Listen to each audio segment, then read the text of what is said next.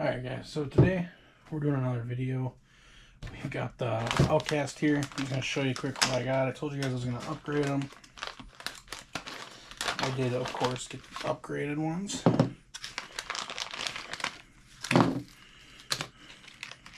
Power Hobby stickers. I'll put one of these right here. Now they know that it's got Power Hobby parts on it, right?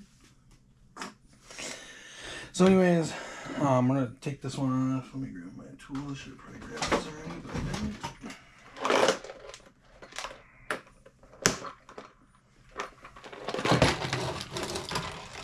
didn't. I guess most of the bolts on this should be two five or two millimeter. Let's grab this off.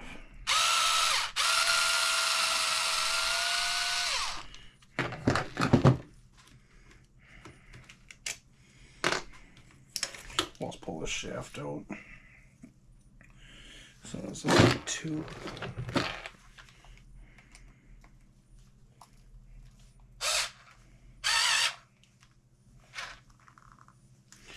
So I'm gonna go heat this up for a little bit because I'm pretty sure they have Loctite on it, and then I'll get that off, and then I'll be back. Guys, it's ridiculous the amount of Loctite Arrma uses on this shit. Like literally, I had to. This was kind of legitimately a pain to get apart. I mean, just look at the Loctite remnants. That's ridiculous, Arrma. You don't need all that. So I don't think these... Okay, there. So this is the right side. So we'll do them. Start by reassembling this.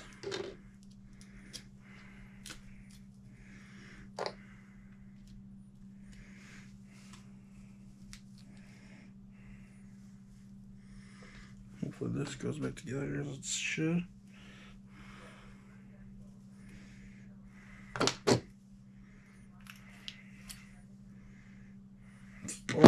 Locked in, guys. Just absolutely ridiculous.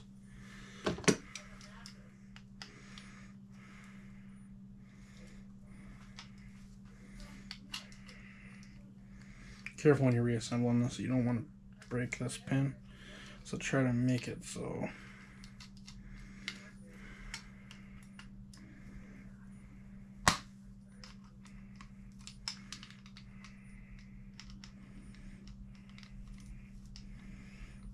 Do you see what a pain that was though?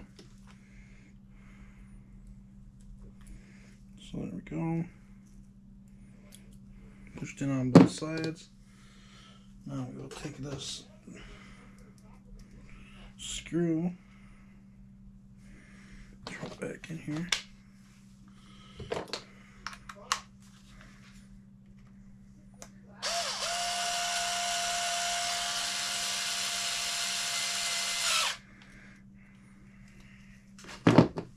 Alright, my dudes. Slow down here. Loctite.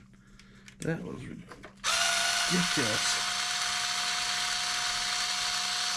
I'm to take this back end off here. Slide this pin on. That probably has a million pounds of Loctite on it. There's the other piece that broke off. Then...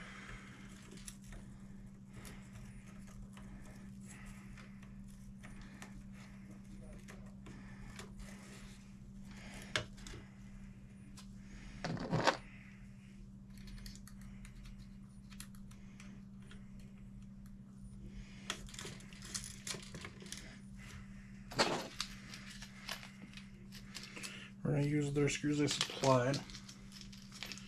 So,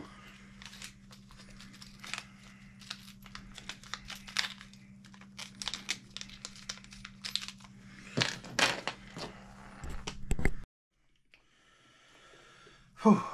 All right. So that, for the most part, is fixed. Well, truck is fixed now. But the other side, guys, is going to be exactly the same as this side. So I'm not going to video that. So thank you very much for watching this video. I will be out running this again very soon. So thank you for watching.